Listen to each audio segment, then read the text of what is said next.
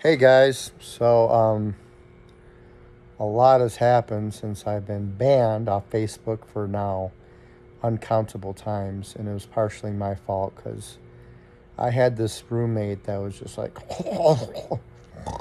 he would snore. Like, dude, the first day he came in, he snored for like 16 hours straight, dude. I was gonna lose my flipping mind and I, am talking, I had earplugs in and everything, and I'm just sitting here moaning, and this guy's like making all these weird. So I kind of made a little post saying how I wanted to, I guess, smash his face in with a brick. and then Facebook didn't like that, so that's why I got blocked. But I mean, give me a break. I was just joking. Actually, we made pretty good friends but uh, thankfully, they moved him. They said, "Oh, sir, you have some something you need to be isolated." And I'm like, "Bye." So that was when I got blocked. Anyway, try to be in depth but not boring. First of all, thank and praise the Lord. I got up into the PT floor. Oh my gosh. So I got a new room. I got a roommate, super cool, younger guy. He doesn't talk much, but motorcycle accident. He doesn't talk much, but he gets a lot of visitors. I'm by myself now. They went to go do something. They wheeled him down somewhere. But uh, it's quiet. I got all the latest, greatest like buttons, and it's an excellent floor. A lot more amenities and accessible stuff. So um, I was losing my mind. I was like literally in that bed for nine days, did not move. They wouldn't give me a wheelchair they wouldn't give me nothing. And uh, so I was worried about my legs like stiffening up and like losing even more function of my legs. But luckily, it actually seems like I'm gaining movement, but it's very minimal. I still haven't stood up yet.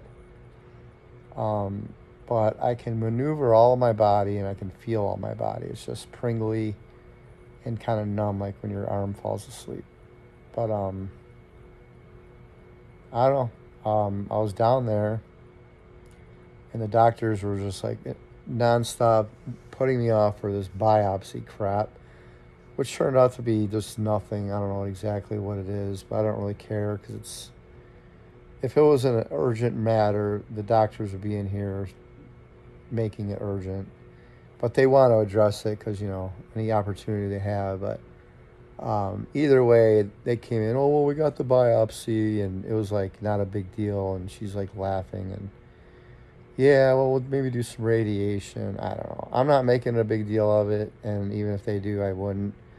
So that's beside the point. Surgery's over.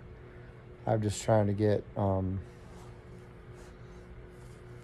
trying to just get walking. But anyway, so then I was told nonstop for like six days, oh, you're going up to PT.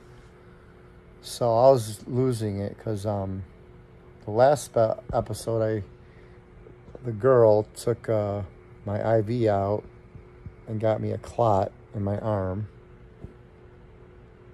Or put it this way, there was an IV that got a clot. It could be, it could have been the contrast from the MRI anyway, it was hurting, and I asked her to take it out. So she did.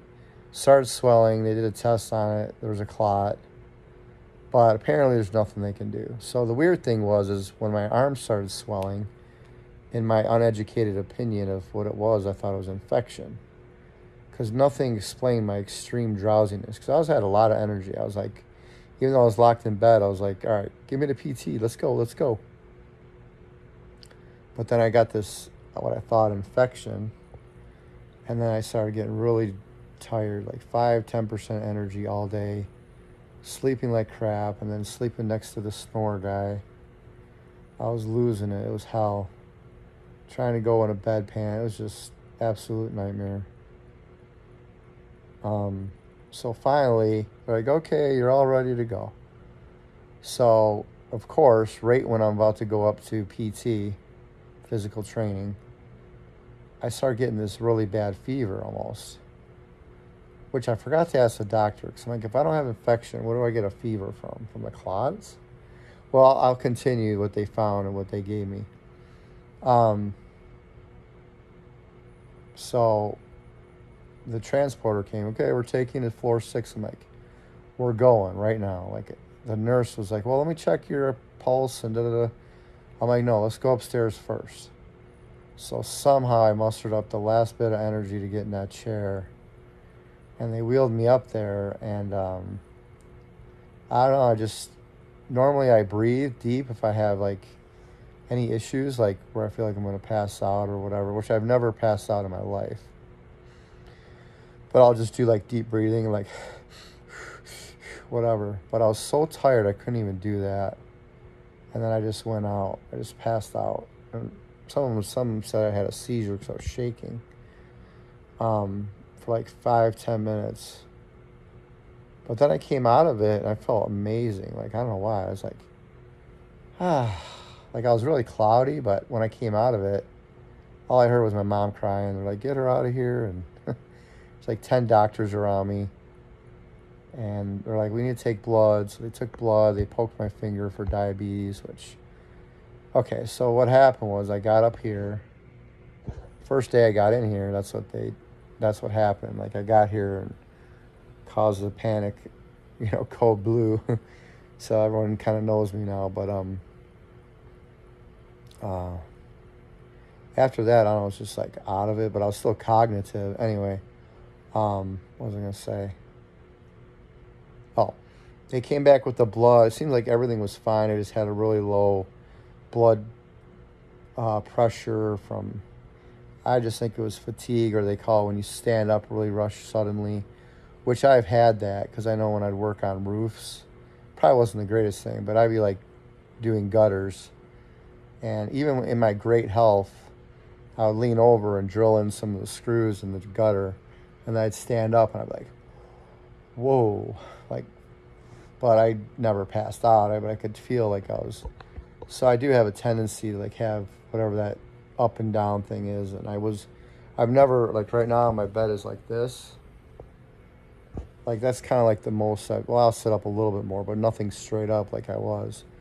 Anyway, doctor came back said B12 was urgently lower. Pretty, he didn't say urgent. He said it's very low. B12, what the hell is that? Which reminds me, I want to go Google it. How do you get low on B12? And uh, so they gave me a B12 shot, and I'm hoping and praying that that's the reason for my uh, exhaustion. Because I thought it was my arm, but they said in the blood test they didn't see any infection. Is that true? I don't trust anyone necessarily because why the hell would I start getting tired all of a sudden after this?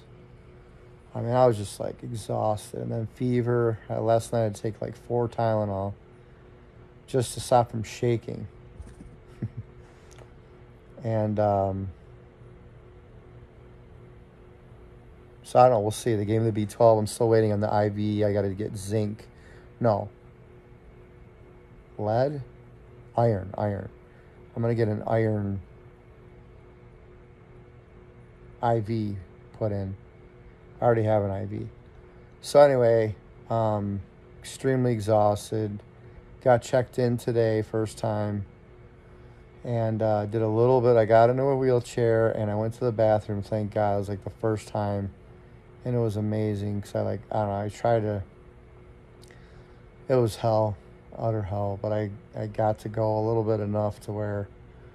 I got some stuff moving. I got a little bit of energy. I'm still surprised how low energy I am right now.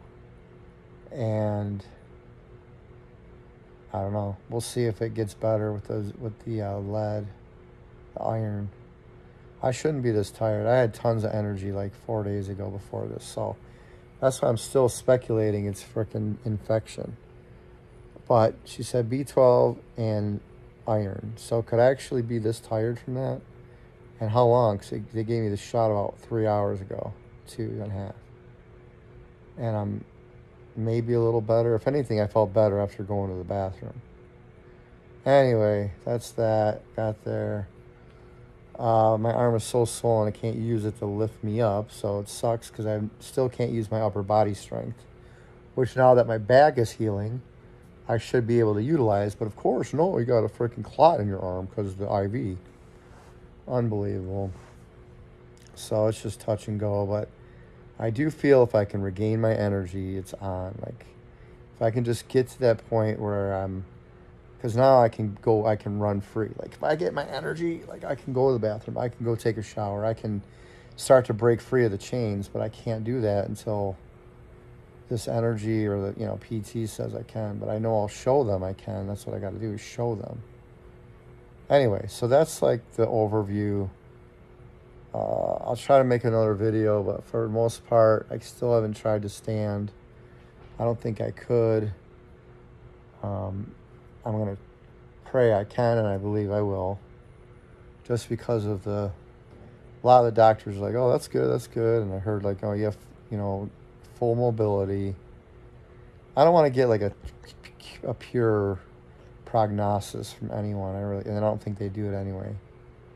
But, um, it's going to be a challenge. I, mean, I could see it taking months to years to walk normal again.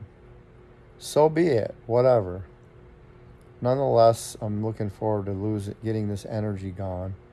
So if anyone has any, I don't know, you can't contact me. I might have someone post this link on my wall and maybe you can comment in the video if I, I'll try to see if I can activate that, but you have to have an account.